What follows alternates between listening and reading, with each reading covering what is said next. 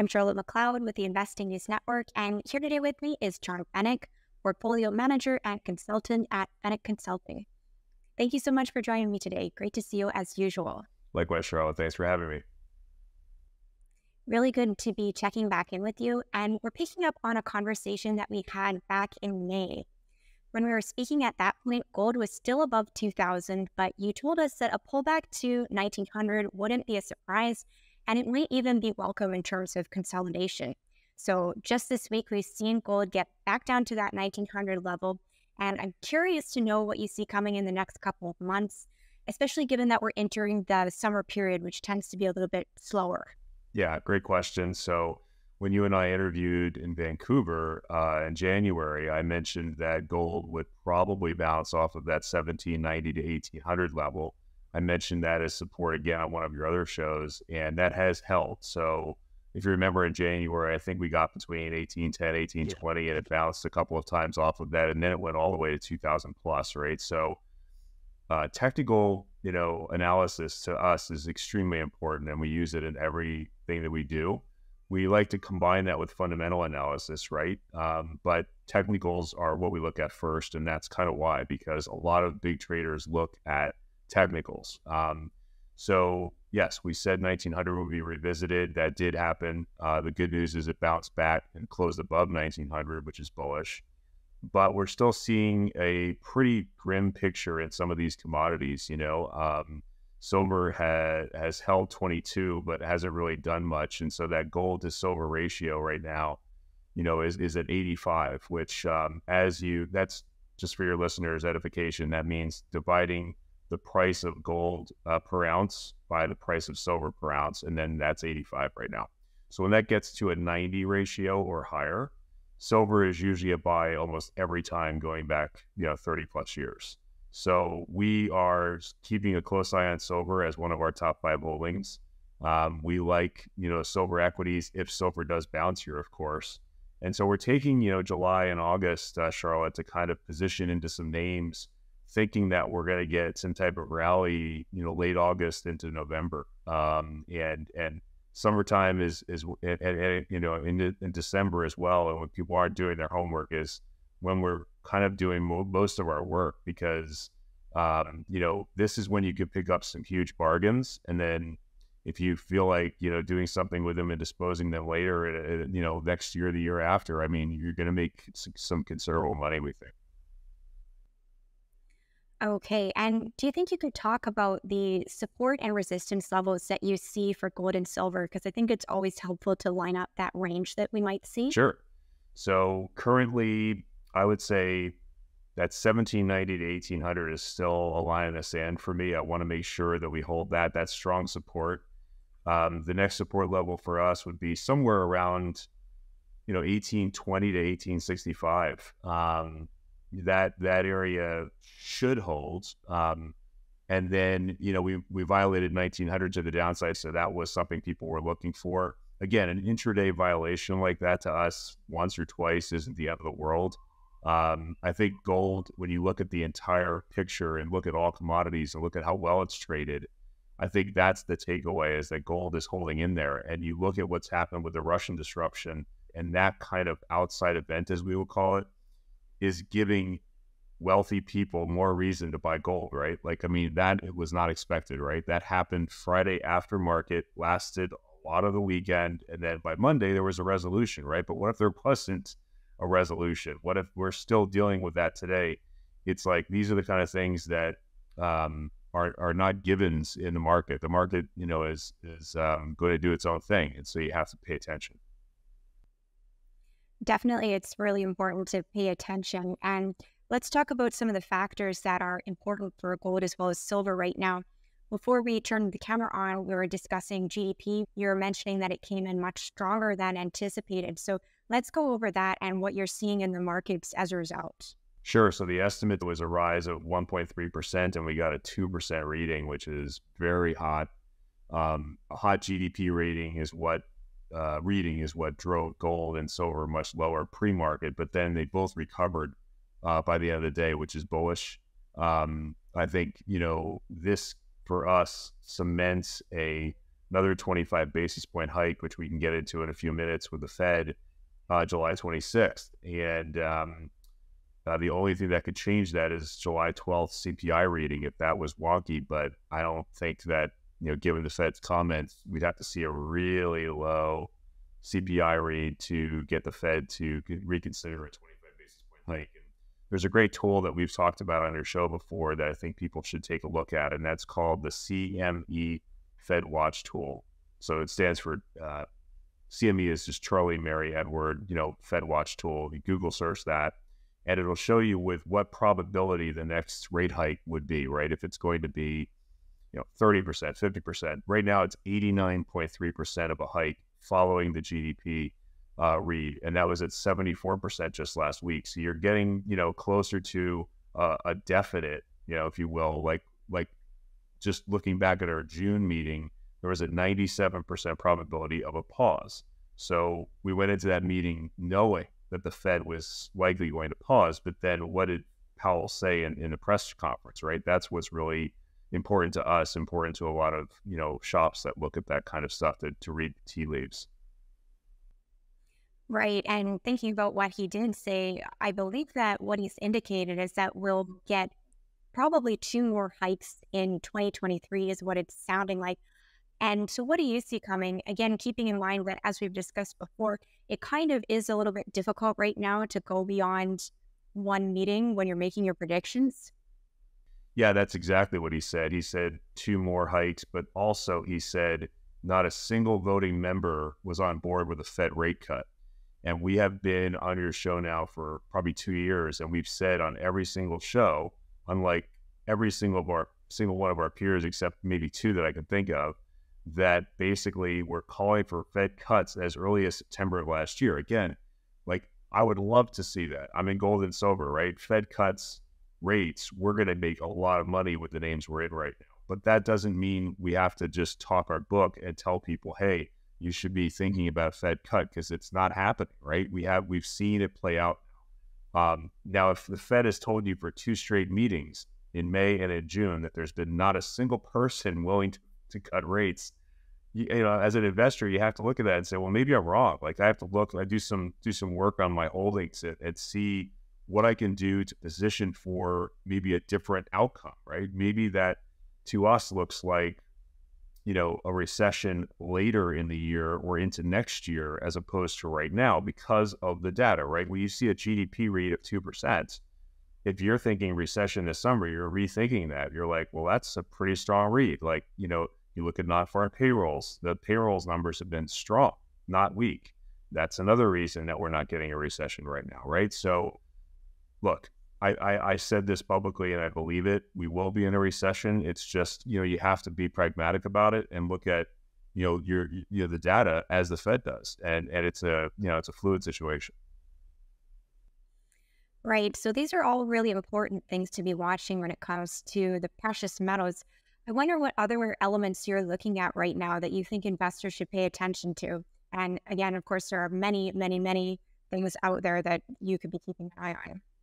Well, you know, we mark our calendars. We tell our clients and our newsletter, you know, followers, hey, you have to mark calendars and be on top of stuff, so you don't wake up with a surprise. And and GDP is something we look at every month. We look at CPI. We look at non-farm payrolls. We look at ISM.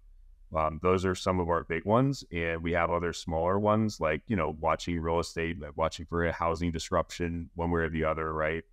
Um, but you know, there's there's a, a ton of data to look at. Um, that's why our website homepage says a tidal wave of information is upon us because that's how I feel. You know, it's it's like there's cl- clients are getting hit from every angle with news right now, right? It's like everyone's got a smartphone, everyone's got you know social media, everyone's got this stuff that 10, 20 years ago you didn't have. So you've got all this stuff coming to you, and it gets confusing. You know, uh, even my smartest clients sometimes are overwhelmed, right? And so it's it's it's natural to feel that way, but then you have to figure out a plan and um, and I think most clients uh, get get paralyzed sometimes and don't do anything, and that's not a strategy. You have to kind of figure, okay, I'm going to listen to John on Charlotte's show. I'm going to listen to this guy. I'm going to listen to this woman. I'm going to listen to the Fed. I'm going to listen to CNBC. It's like there's there's five things right there. That's a lot, And so, you know, it, it, you have to kind of keep it, you know, to three to five as opposed to 20, because when you start listening at 20 things, I find most clients don't do anything. And that's, that's not good either. All right. And let's move over to looking at what you're doing. We always like to get an update from you on the companies that we've spoken about previously. And I know that some of them have had news developments that you have been watching. So let's hear about that if we don't mind. Yeah, of course. Um, so Ascendant Resources, ASDRF, um, invited me to a due diligence trip in full disclosure. So I, I'm going to visit them in Portugal in September. I think that's September 7th to be exact. So I'll report back uh, with what I see there. But this is only the second trip I've taken in my entire career. Um, I'm not the type to leave the computer much. So hopefully your listeners will get a feel for the fact that I, you know, I'm investing that kind of time to go out there and I, I take it seriously.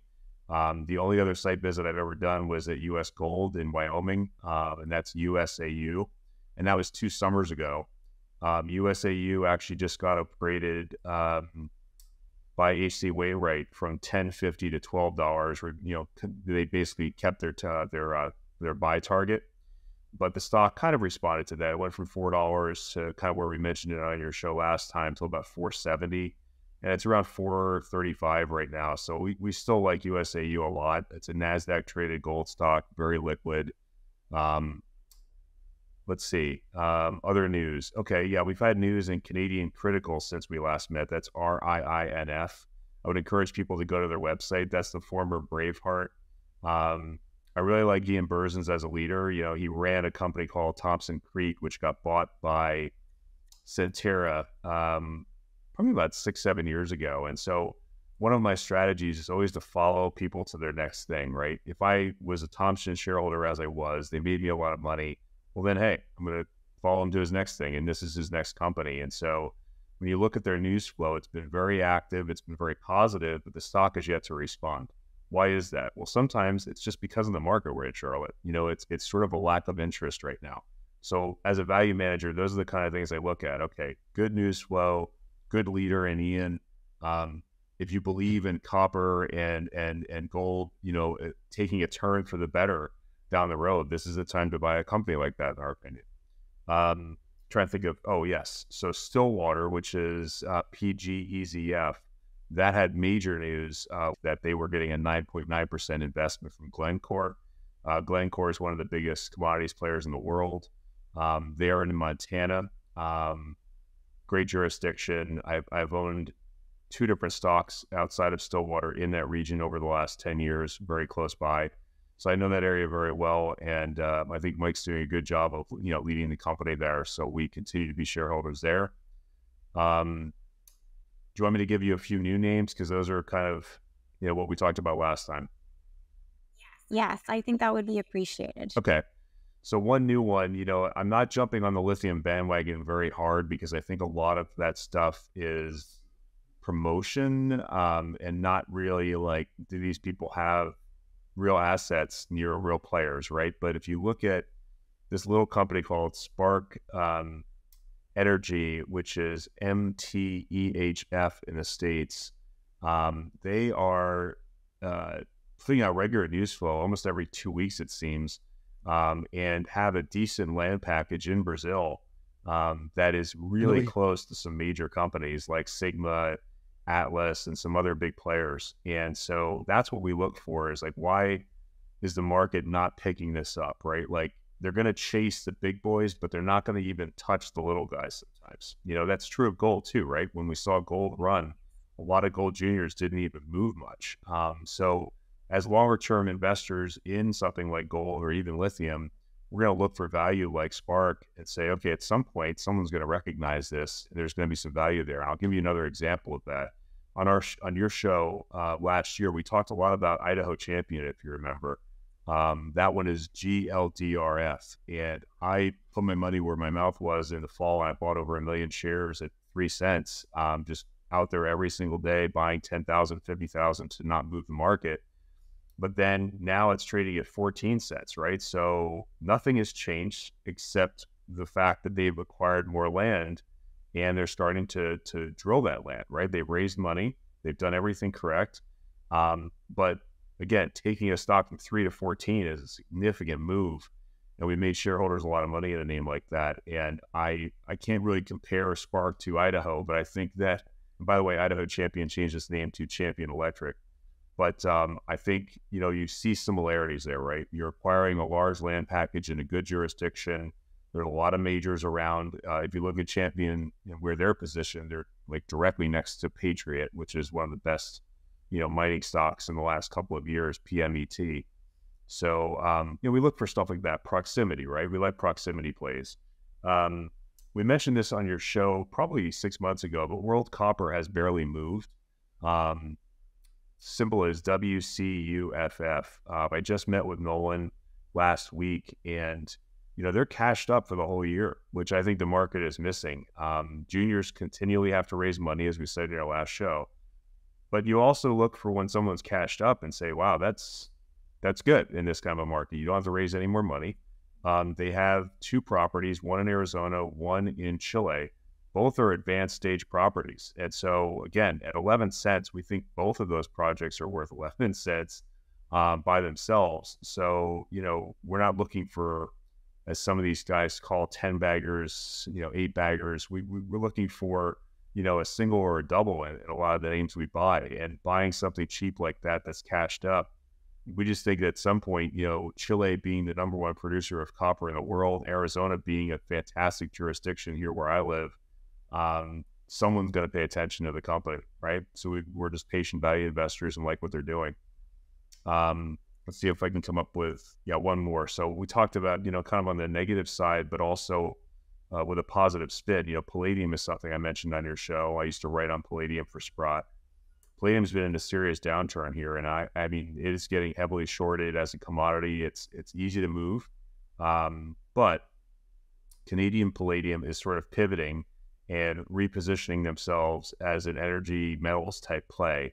They have a project that's in Europe, and they basically have a, a, a CEO and Wayne Tisdale who's got a lot of experience in cobalt so that deposit, um, which is on the Czech border there, basically is copper and cobalt. So they've gotten a grant from the uh, European Union to um, help with funding that project, and uh, we think they're going to get additional grants. They've applied for those, but to be one of three companies that got any grants, uh, you know, from the EU is pretty special in a market that's not really rewarding juniors. So we continue to hold our position there too. Okay, that was great. I know that everybody always appreciates getting actual names to look at. And as usual, we'll make sure to leave them in a comment or in the video description so that everybody can see the names and tickers. I have a couple of questions for you on the educational side. And one of them is about, as you're talking about here, you're looking for a single or a double, you might be looking for something higher. I wondered if you can explain how you decide what you're looking for, because I think investors often hear that they need to have a goal. So they expect the company to do X and Y. The return should be Z. But how do you actually make that calculation?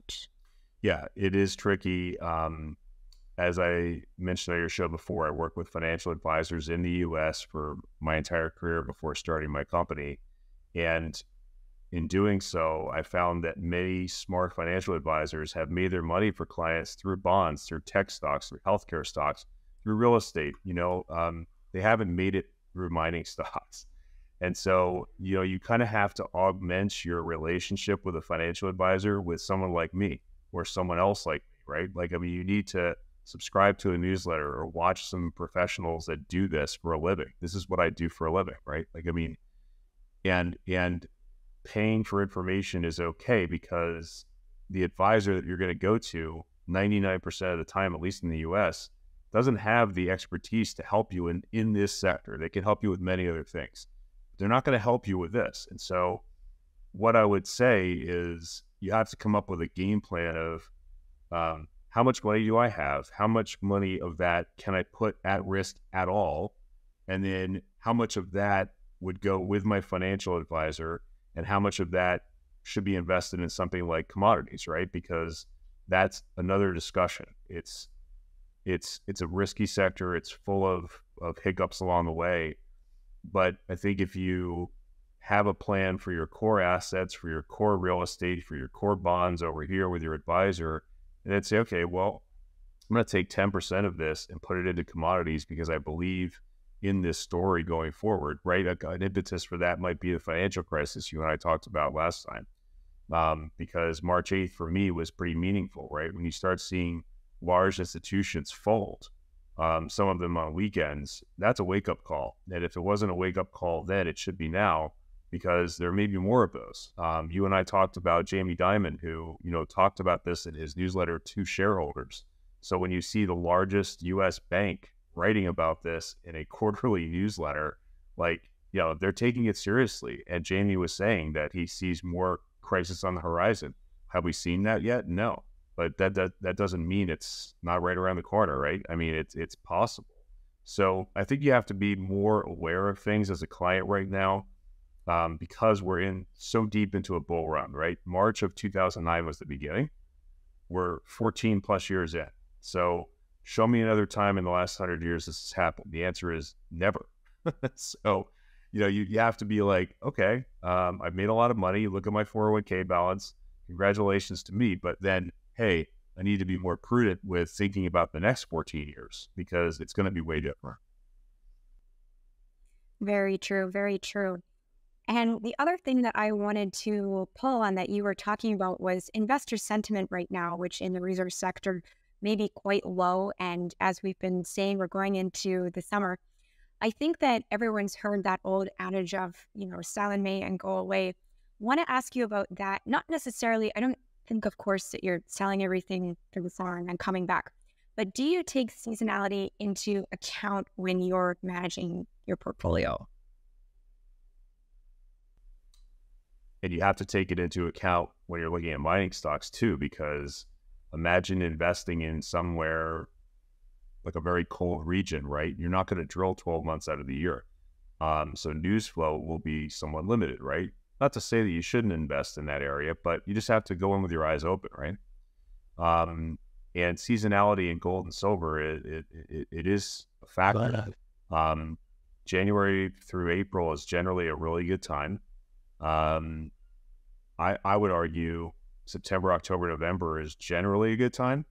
And there's a lot of mining conferences that happen September, October, November. So a lot of companies will go out and present to wealthy people and institutions and analysts. And I think that's, you know, why we spend a lot of time at our computer between July and August and in December when it's it's hard to be away from family. Like, you know, in December when it's my birthday and it's the holidays and then my little girl's running around. I want to be with everyone. But it's like that's when I can make a lot of money going into next year when the euphoric kind of you know tick happens. Look at what happened this year, Charlotte. We saw that again. There was a nice run in there between January and April, right? I mean, we really saw gold take off, and a lot of stocks did respond. But if you bought them in November, December, like we were talking about with Champion Electric, right? Buy it at three cents. It's at 14 cents now. You can do whatever you want. I mean, if you need to sell some, you can sell some at a 400% profit. So it's it's like, yeah, a seasonality definitely does matter. Okay, well, thank you for going into that. I also think it's important to look at.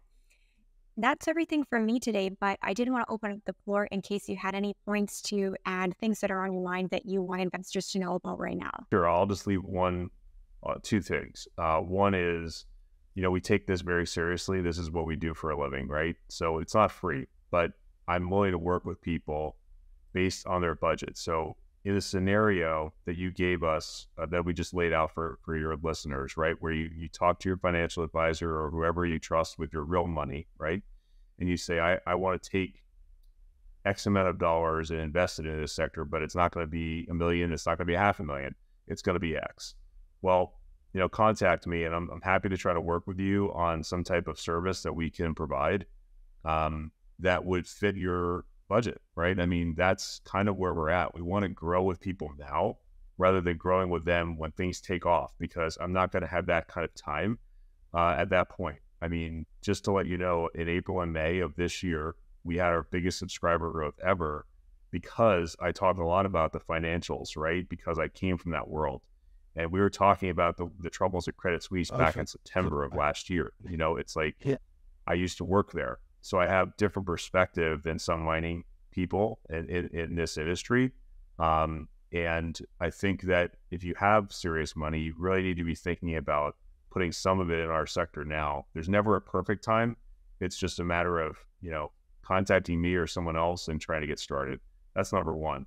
Number two would be the BRICS meeting that's coming up. That's uh, that stands for Brazil, Russia, India, China, South Africa. That meeting is coming up August 22nd through the 24th. Uh, I think that you could see uh, an announcement there on an alternative currency, and how that alternative currency plays out is to be seen. But what if it were backed by gold, silver, oil, right? It's like that would wake some people up and I think also drop the US dollar. And that would be anytime you see a significant drop in the US dollar, it's a, it's a positive for mining and mining stocks, right? Almost every time. So we're positioning ahead of that meeting, you know, to two months from now to to kind of say, okay, let's put some positions on now with the idea that that could be a catalyst for something that sends us into a, bra- a rally into September. All right. I think that is a great place to wrap up. Thank you for highlighting those two last points. We'll have you back after that BRICS meeting because I think that will be very interesting to look at. And it's a topic that we have been following for the last little while. So thank you so much for coming on to talk right now. It's great to have you as usual. Thanks a lot, Charlotte. Great. And once again, I'm Charlotte McLeod with the Investing News Network, and this is John. Thank you for watching. If you like this video, make sure you subscribe to our channel. We'd also love to hear your thoughts, so leave us a comment below. We'll see you next time.